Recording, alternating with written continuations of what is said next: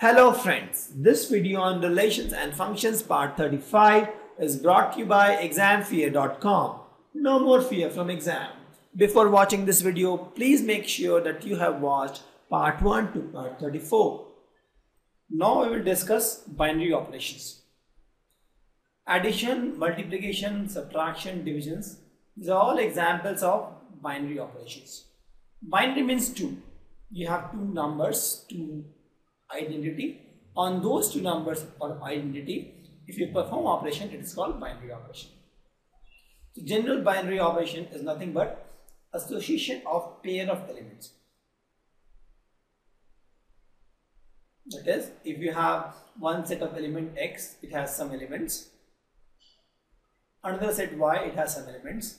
If there is a relation between x and y, then that is called binary operation. For example, the binary operation star on a set A is a function star A cross A will not AB by A cross B. That is the relation between any two objects in uh, A is A cross B or A star B. We'll take some examples. We have to prove that addition, subtraction, multi multiplications are binary operation R, but division is not binary operation. Further, we have to show that division is a binary operation on R of non-zero real number. So we're talking about plus. In plus, if you see, if you take any real number, it's talking about operation on R. You see R plus R will be equal to always real number. If you add two real numbers, you get a real number always. That's why you can say that AB implies A plus B. Here, the, if you add two real numbers, you always get a real number. That's why the binary operation of addition is true for real number. Similarly, if you take subtraction, you take two real numbers, you subtract a real number from them, you always get a real number. And that is why you can see that AB, A minus B, this is a binary operation. Addition subtraction is done. Next one, multiplication. So if you see, you take two real number and you multiply two real numbers, you always get real numbers. Thus, you can see that this multiplication property holds true for real number. Similarly, division, if you see, if you divide two real numbers, it need not be a real number. You example. If you take any number and divide by 0, 0 is a real number, you get infinite, which is not a real number. So, division property is not true for R. So, this I can't say that this is not there. This division is not true for R. But if you see that if you exclude r, if you exclude r, if you exclude 0 from the real number, if you take non-zero real numbers, that is r star, then binary this division property holds true. You take r star, that is non-zero real number, from that you divide any r star, non-zero real number, that will always be a non-zero real numbers. Thus we can say that division property holds true for non-zero real number. Correct?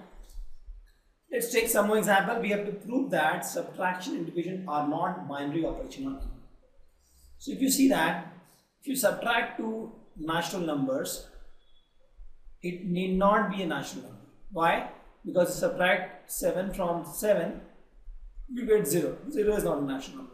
You subtract 5 from 9 you get minus 4 that is also not a natural number. Thus you can say that the subtraction property doesn't hold true for natural number.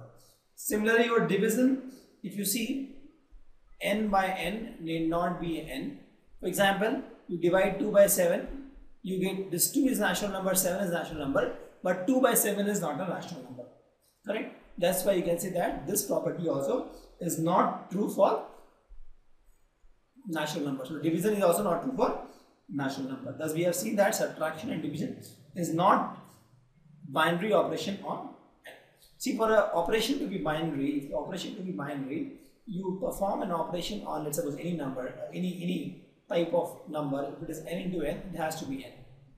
If it is uh, z, an operation on z will always get z.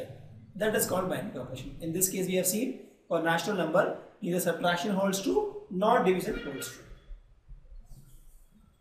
We have to show that this star binary operation R cross R is given by AB, A plus 4B square is a binary operation. That is, you take any two real number, A and B are real number actually. Then we have to prove that A plus 4B square is also real number.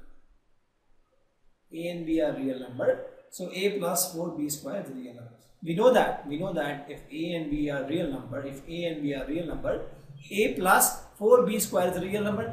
Thus, this operation star which says that this operation star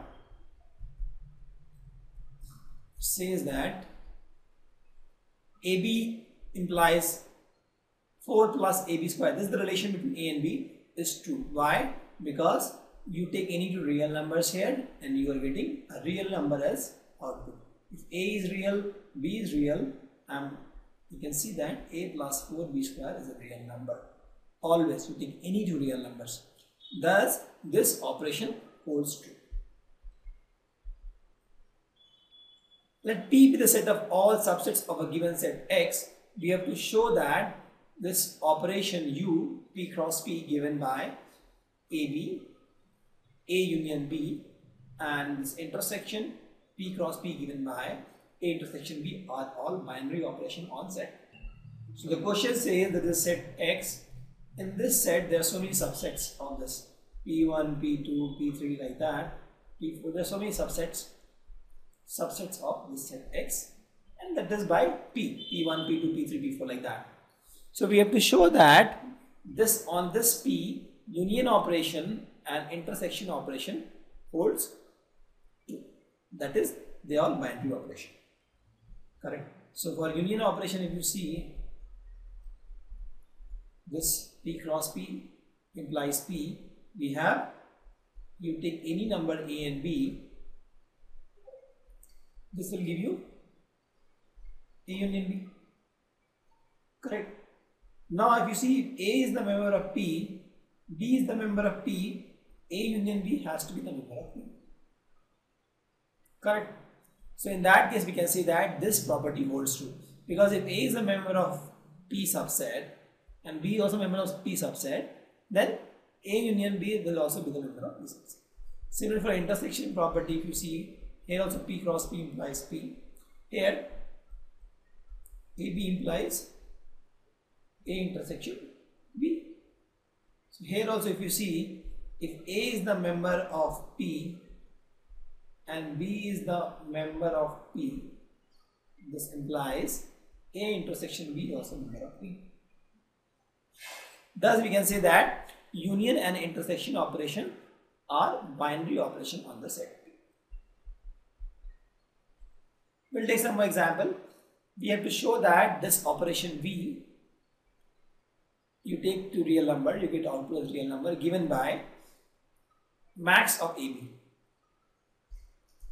And this operation given by from R to R, it gives R also, minimum ABR binary operation. So to prove this, what I have to prove is you take any two real numbers, you take the max of this, that also has to be real number. For this I have to take, you take any two real numbers because they are all reals. And you take the min of this, this will be a real number. Correct? So let's see the first part. It says the max of the number. So if my if I take AB and I get the max of AB here. So what I notice here, if my A is real, if my B is real, max of AB has to be real. Thus this relation is true. Correct? You can write that A is member R, B is the member R. This implies max of AB has to be member of R. And that is what they are saying. R cross R gives R. Simply for minimum operation if you see R cross R gives R. Here AB implies minimum of AB. So what you see here also if A is the member of A is real, B is real, minimum of AB has to be real. Correct? This we know. If this is true, this relation holds true. That is, this is a binary operation. Thank you. Visit examfear.com to watch free educational videos, try free online tests, get the best quality study materials, study from the best tutors and mentors, and much more. Thanks once again.